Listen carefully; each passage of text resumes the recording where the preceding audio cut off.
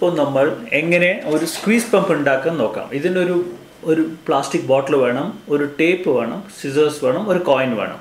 Scissors കൊണ്ട് ബോട്ടിലിന്റെ ക്യാപ്പിൽ ഒരു ഓട്ട ഉണ്ടാക്കുക. അതിന്റെ മേലെ ഒരു കോയിൻ വെക്കുക. ഇങ്ങനെ കാണിക്കുന്ന പോലെ കോയിനെ വെക്കുക. എന്നിട്ട് ബോട്ടിലിൽ ചെറിയൊരു ഹോൾ ഉണ്ടാക്കുക.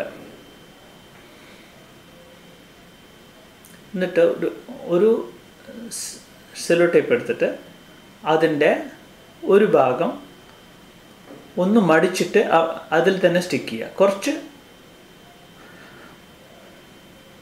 എന്നിട്ട് ആ ബാക്കിയുള്ള സ്റ്റിക്കി പോർഷൻ കൊണ്ട് ഹോളിനെ മൂടുക. ആ ഹോൾ മൂടുന്നത് നോൺ സ്റ്റിക്കി പാർട്ടായിരിക്കണം ഇപ്പം നമ്മൾ കാണിക്കുന്ന പോലെ ആയിരിക്കണം. കണ്ടോ? ഇപ്പം തുറക്കാൻ പറ്റണം ഇങ്ങനെ. അതായത് സ്റ്റിക്കി പാർട്ട് താഴെ ഒട്ടിക്കണം. നോൺ സ്റ്റിക്കി പാർട്ട് ഹോളിന് മുകളിൽ.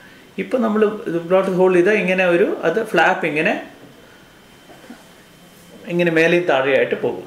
എന്നിട്ട് ഈ ലിഡിനെ തിരിച്ച് അതിലേക്ക് ബോട്ടിലിന്റെ ക്യാപ്പിനെ മൂടുക. ഇത് നിങ്ങളുടെ സ്ക്വീസ് പമ്പ് ഇപ്പോൾ റെഡിയാണ് ഇത് നമ്മൾ തലകിഴ തലകിഴായി കമത്തിയിട്ട് വെള്ളത്തിന്റെ ഉള്ളിലേക്ക് ചെയ്ത് മെല്ലെ മെല്ലെ ഇതിനെ ഞെക്കിയാൽ വെള്ളം ഉള്ളിലേക്ക് കയറും ഇതിനെ പ്രൈമിംഗ് എന്ന് പറയും. ഇപ്പോൾ ഫുള്ളായി പ്രസ് ചെയ്ത് ഇപ്പം ഇനി പ്രസ് ചെയ്താൽ വെള്ളം ഇജക്റ്റ് ഇജക്റ്റ് എങ്ങനെ പുറത്തേക്ക് പോകും? എത്ര നല്ലൊരു സ്ക്വീസ് പമ്പ് നമ്മൾ ഉണ്ടാക്കി കണ്ടോ? എന്ത് രസമാണ് അത് ചെയ്യാൻ?